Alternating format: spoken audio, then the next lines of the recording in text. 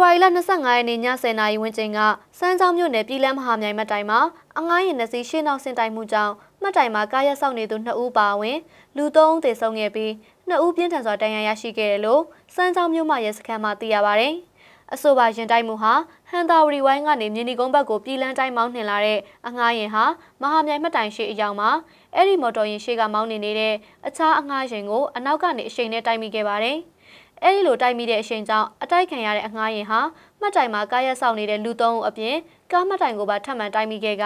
လမ်းဘေးပလက်ဖောင်းပေါ်ကိုရောက်ရှိသွားခဲ့တယ်လို့သိရပါဗျ။ပရိုဘောင်းကအနောက်ဖြတ်တိုက်တိုက်တော့ဒီကားလွင့်ပြီးတော့ကားကိန်းမှာရက်နေတဲ့လူကို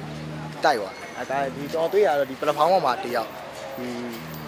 တမိအောင်မှာတယောက်ဟုတ်ကဲ့နှစ်ယောက်တည်အဲပရိုဘောင်းပေါ်မှာကျွန်တော်တို့တွေ့ရနှစ်ယောက်တည်တယောက်ကကျတော့ပါစေမျိုးလုံးကြီးပြူပြီးတော့ပါစေချပြီးတော့ကြောင်ခေါ်လို့လည်းမရဟုတ် နောက်တစ်ယောက်ကကျတော့ခြေတော်ကြီးကန်ပြီးတော့အော်အဲကျွန်တော်တို့အဲဆွဲထုတ်ပြီးအဲဟိုတိုက်အဲစေးုံကောင်မှာ3ယောက်ရှိကျွန်တော်တင်ပေးလိုက်3အဆိုပါရင်တိုက်မှုကြောင့်မှတ်တိုင်မှာကားရက်ဆောင်နေသူ2ဦးနဲ့နောက်ကနေအတိုက်ခံရတဲ့အငှားရင်မောင်းတို့သေဆုံးခဲ့ရပါတယ်။သေဆုံးခဲ့သူနဲ့ဒဏ်ရာရရှိသူတွေအလုံးဟာအမျိုးသားတွေဖြစ်ပြီးစတင်တိုက်မိမှုဖြစ်ပွားခဲ့တဲ့အငှားရင်မောင်းကတော့ထွက်ပြေးသွားခဲ့တယ်လို့စမ်းချောင်းမြို့မှာရဲစခန်းတာဝန်ရှိသူကပြောပါတယ်။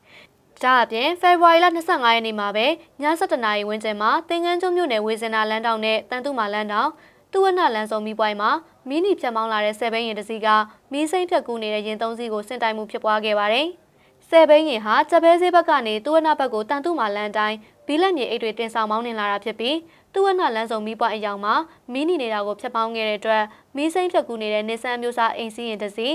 အငားရင်တစ်စီးနဲ့ Toyota Prado အမျိုးအစားအိမ်စီးရင်တွေကိုဆင့်တိုင်မိခဲ့တာဖြစ်ပါတယ်။အဆိုပါရင်စင်တိုက်မှုကြောင့်ပရာဒိုရင်ပေါ်မှာအမျိုးသမီးတဦးနဲ့ကလေးငယ်တဦးကိုစေယုံတင်ထားရပြီးအသက်အန္တရာယ်တော့စိုးရိမ်စရာမရှိဘူးလို့သိရပါဗျ။